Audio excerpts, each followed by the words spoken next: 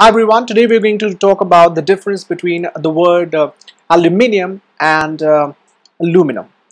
So aluminium is um, a usage found in the British English and it accords well with words like potassium, magnesium, etc.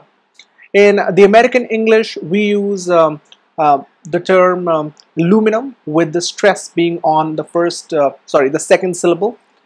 And uh, this is because that's how the discoverer of it, uh, Sir H. Davy, in 1812 called it.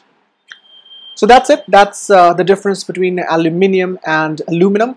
It's recommended that you use uh, uh the term uh, aluminium because that's uh, considered standard British English.